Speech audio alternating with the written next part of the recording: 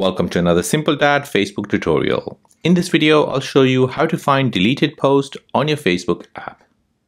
If you're new on the channel and you want to find out more about your iPhone, your Android phone, or any other social media apps, then go ahead and hit that subscribe button to become a part of the Simple Dad community. Hit the like button if you find this video useful. So Facebook app now has a recycle bin where you can now find deleted post in that section. You can also restore the post in Facebook app using that feature. So let me show you how to do this. So before you begin, you're gonna first go to your app store, search for Facebook, and make sure Facebook has been updated to the latest version. So once that's updated, go ahead and tap on open. Next, you're gonna tap on your menu here at the bottom right, so your profile picture.